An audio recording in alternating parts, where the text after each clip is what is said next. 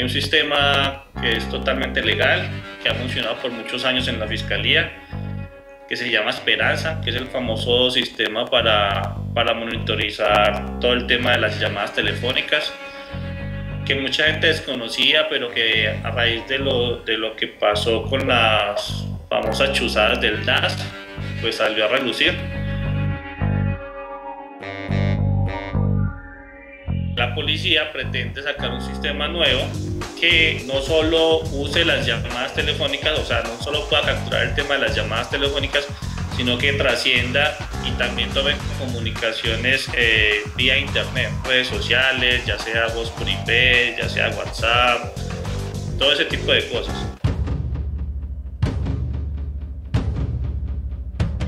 Ahorita si los delincuentes se ponen de acuerdo por redes sociales, por, por, mensajes como WhatsApp, por PIN y todo ese tipo de cosas, pues van a poder acceder a esa información que necesitan para poder resolver los, los delitos. O sea, en sí el sistema no es, no es malo, el temor de la gente es que lo utilicen como ya se tuvo precedente con el tema de las chuzadas. O sea, que empiecen a hacer persecución política, que empiecen a usarlo los dirigentes de la policía para mirar si la esposa le está haciendo infiel o, si me entiende? Que lo empiecen a usar por motivos personales.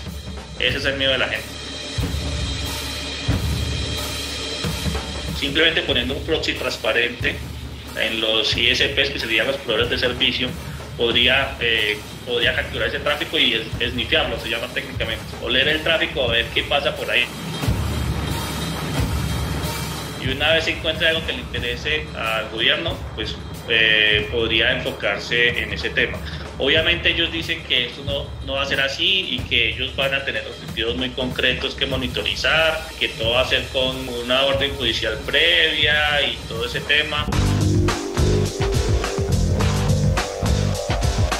Pueden haber más de 20.000 personas eh, siendo chuzadas, por decir así, eh, vía teléfono o cualquier otro medio de comunicación vía internet.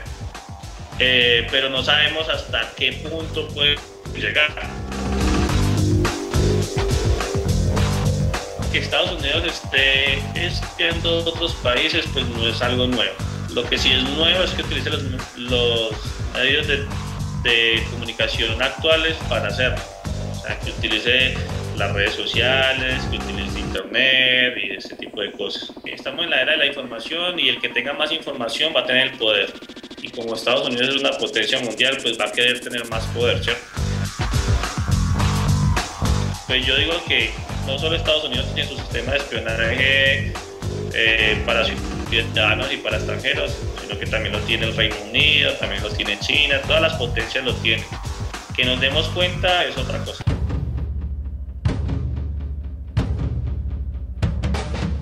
Tendríamos que empezar a utilizar conexiones cifradas, dejar de utilizar los sistemas que colaboran con el gobierno, por ejemplo Google, Facebook, eh, Yahoo. Todas estas compañías tienen o navegadores o buscadores o tienen páginas, o sea, dejar de, utilizar esos servicios. Si yo soy, por ejemplo, un terrorista y busco cómo fabricar una bomba, pues eso ya me, va creando un perfil de navegación. Y luego busco mapas de el parque no sé qué de Estados Unidos. Entonces ya saben más o menos que yo quiero una bomba y que más o menos cuál es uno de mis objetivos. Entonces empezar a utilizar servicios alternativos, utilizar sistemas cifrados,